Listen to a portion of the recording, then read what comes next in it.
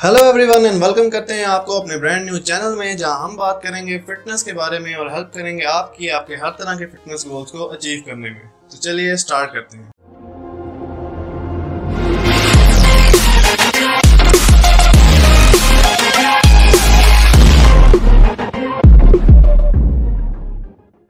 सो so, पहला question के इस चैनल की ज़रूरत क्यों पड़ी और इस चैनल से किस तरह से आपके फिटनेस गोल्स में आपकी हेल्प हो सकती है? तो इसका आंसर आपको ज़रूर करेंगे लेकिन उससे पहले आप चैनल को सब्सक्राइब कीजिए और बेल आइकन को दबाना मत भूलिएगा ताकि इसके बाद फ़ौरन बाद आने वाली क्वारंटीन होम वर्कआउट सीरीज़ को आप मिस ना कर सकें। तो बात करते हैं इस चैनल के बारे में और इस चैनल के साथ अगर मैं बात करूँ अपनी ट्रांसफॉर्मेशन की फ्रॉम हेयर टू हेयर तो इस ट्रांसफॉर्मेशन पीरियड के दौरान मैंने बहुत सारे बॉडी बिल्डर्स बहुत सारे फिजियोथेरापिस्ट और इसके अलावा बहुत सारे पर्सनल ट्रेनर से बॉडी बिल्डिंग के आर्ट को फिटनेस के आर्ट को जानने की कोशिश की है जिसकी वजह से जब मैं एक आम इंसान को देखता हूँ जो फिट होना चाहता है अपने किसी भी तरह के फिटनेस गोल को अचीव करना चाहता है जिसमें या तो वो एथलेटिक होना चाहता है एक एथलीट और अपनी एथलेटिक एबिलिटी को इम्प्रूव करना चाहता है अपनी एजिलिटी को इम्प्रूव करना चाहता है या फिर अपनी जिम में परफॉर्मेंस इंक्रीज करना चाहता है जिसमें वो अपनी स्ट्रेंथ को इंक्रीज करना चाहता है या फिर अपने मसल्स को इंक्रीज करना चाहता है उनमें गेंस लाना चाहता है या फिर इसके अलावा वो अपने फैट लॉस को परस्यू करना चाहता है और इस तरह से किसी भी तरह के अपने फिटनेस गोल्स को अचीव करना चाहता है तो according to me I think एक ऐसे प्लेटफॉर्म की ज़रूरत है जहाँ पे इन सब चीज़ों के बारे में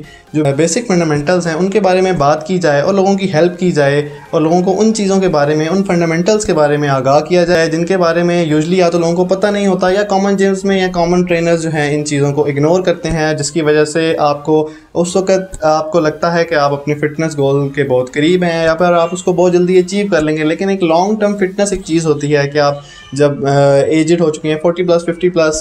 वगैरह, तब भी आप अपनी फ़िटनेस को मेंटेन कर सकते हैं। आपके जो जॉइंट्स हैं, वो पूरी तरह उनमें पूरी मोबिलिटी है, आप पूरी एजिलिटी से मूव कर सकते हैं, आपको सहारे की ज़रूरत नहीं है, वगैरह वगैरह। तो लॉन्ग टर्म फिटनेस को मेंटेन करने के लिए बेसिक फंडामेंटल्स और बेसिक चीज़ें होती हैं, जिनके ऊपर फोकस करना बहुत ज़रूरी है। तो जिन चीज़ों की मैं बात कर रहा हूँ, उनमें चंद एक फंडामेंटल्स हैं, जिस तरह आपकी बॉडी की, आपके जॉइंट्स की स्टेबिलिटी होती है, आपकी बॉडी की मोबिलिटी होती है, आपकी ओवरऑल एजिलिटी कि आप किस तरह से मूव कर सकते हैं। और उसके अलावा आपके आपके जॉइंट्स की हेल्थ होती है, आपके टेंडेंस की हेल्थ होती है, जो कि सफ़र करती है। सफ़र क्यों करती है? क्योंकि आप ओवरलोड करते हैं, एक बॉडी बिल्डर या फिर एक ऐसा बंदा जो फिटनेस के लिए ट्रेनिंग करता है। फॉर एग्ज़ाम्पल एक रनर है जो रोज़ाना रनिंग करता है। तो वो अपने नीज़ पे और अपने जॉइंट्स पे एक आम इंसान से ज़्यादा लोड डाल रहा होता है और जिसकी वजह से उसको कुछ इश्यूज़ फेस करने पड़ जाते हैं। तो अगर हम बात करते हैं एक बॉडी बिल्डर की या फिर एक वो इंसान जो बॉडी बिल्डिंग करना चाहता है या मसल गेन करना चाहता है, जो रेगुलरली जिम जा रहा है और रेगुलरली वेट उठा रहा है तो अपने जॉइंट्स को, अपने हर मसल को एक आम इंसान से ज़्यादा उसके ऊपर लोड डाल रहा है। उसकी वजह से साइड इफ़ेक्ट कहीं ना कहीं आ जाते हैं, क्योंकि इनके काउंटर में कुछ ऐसी चीज़ें होती हैं, जिन चीज़ों को हमें ट्रेन करना होता है, जिन चीज़ों का हमें ख्याल रखना होता है, जिसकी वजह से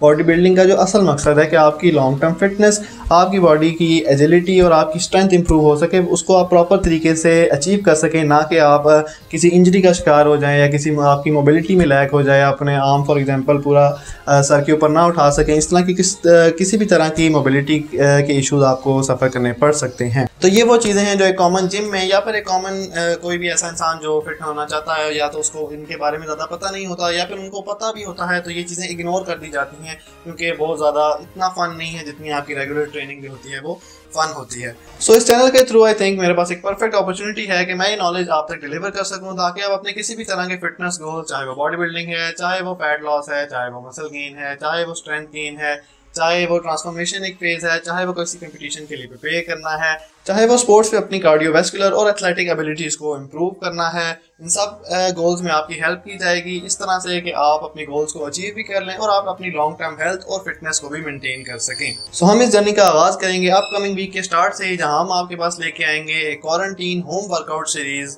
fit and healthy quarantine के नाम से। इस सीरीज़ के थ्रू हम आपके पास लेके आएँगे एक ऐसा वर्कआउट प्लान जो विदाउट एनी इक्विपमेंट या फिर मिनिमम इक्विपमेंट के साथ आप उस पूरे प्लान को फॉलो कर सकेंगे और अपने गोल्स में प्रोग्रेस कर सकेंगे एक अच्छी खासी हद तक। क्योंकि आजकल जिम्स वगैरह बंद हैं सिचुएशन की वजह से और अगर कुछ ओपन भी हैं तो वहाँ जाना इतना ज़्यादा वाइज नहीं है, इतना ज़्यादा सेफ़ नहीं है क्योंकि वहाँ रश होता है स्वेट होता है वगैरह इस तरह की और पास वगैरह भी बंद है और वहाँ जाना भी इतना ज़्यादा वाइज नहीं है। तो मैं आप लोगों को सजेस्ट करूँगा कि इस टाइम पीरियड के दौरान आप अपने घरों में ही वर्कआउट कीजिए और हमारी fit and healthy quarantine series को फॉलो करें, जिसमें आपको प्रॉपर वीकली प्लान प्रोवाइड किया जाएगा। सारे वर्कआउट्स के साथ डेमोज दिए जाएँगे एंड आपको न्यूट्रिशन के बारे में भी गाइड किया जाएगा। तो ये इस चैनल का एक ब्रीफ सा इंट्रोडक्शन था। आपको वीडियो पसंद आई तो वीडियो को लाइक कीजिए और कमेंट्स में अपनी सजेशंस और क्वेश्चन ज़रूर पूछिएगा और चैनल को लाजमी सब्सक्राइब कीजिएगा। और इसी के साथ this is A J fit and I catch you in the next one eyes in the sky, gazing far into the night. I raise my hand.